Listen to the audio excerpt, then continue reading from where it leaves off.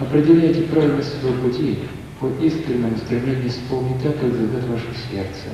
Старайтесь не обмануть себя, и вы сделаете, поверьте, самый правильный шаг на данный период времени.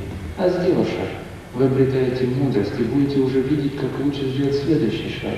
И так вы пойдете исполнить великое на одной истине любви, не рассуждая о ней, а искренне исполняя. И тогда все получится. Никакой суеты, никакой путаницы не будет. Вы действительно очень быстро сможете идти вперед. Очень быстро. Поэтому попробуйте понять настоящую суть истинного учителя. Настоящую суть. Потому что истинный учитель – это тот, который приходит не для того, чтобы сделать из себя кумира поклонения. Нет, он приходит для того, чтобы сделать вас самостоятельными. Вот тогда проявляется истина великого Отца. Именно самостоятельными. И этому будет положена мне жизнь, чтобы вы стали им, чтобы не был страх между вами стадный, который забивает вас, пугает вас, что а вдруг вы что-то делаете неправильно, и начинается бесконечная суета. Нет, вы должны научиться идти самостоятельно, помня истину любви. Она одна и проста у всех. Ее нет смысла как-то толковать, и бессмысленно это делать, иначе это принесет только путаницу новое толкование. Не надо ударяться сейчас в них. Отбросьте эти все толкования. Смело исполняйте труд, тот, в котором вы сможете свое сердце отдать Божьей. И стремитесь это делать искренне, отдавая все свои силы, и помня, что вы рождены отдавать, но не брать. И пребывайте в понятии детства. Будьте детьми, будьте, ибо все горести происходят только от одного, когда человек становится слишком серьезным. Только лишь. Потому что что бы ни происходило на этой земле, в различных ситуациях, горьких, войнах, садизме, чего только нет сейчас творено на этой земле, ведь все это совершается только с понятием серьезного подхода. Когда человек серьезен, когда он пытается создавать умное лицо.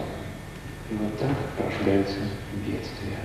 А вы будете простыми, станьте детьми и просто искренне Попробуйте побежать вперед, шутя, понятно, воспевая песни на славу своего Отца, воспевая песни во имя красоты, которая вокруг так удивительна, открывая уста свои только в том случае, когда хотите поздравить друг друга с радостью какой-то, когда хотите пожелать счастья, крепости, света, благоденствия.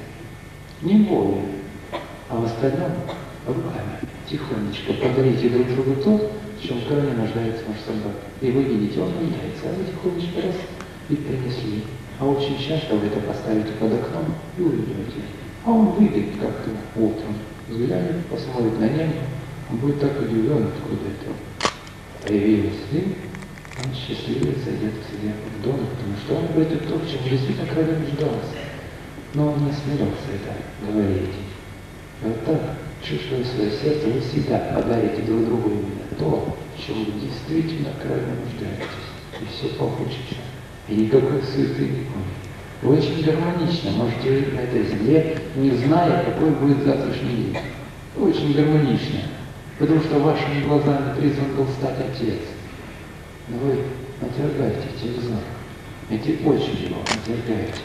Пытаетесь сами много посуждать, наметиться на следующий день, но он приходит путанным.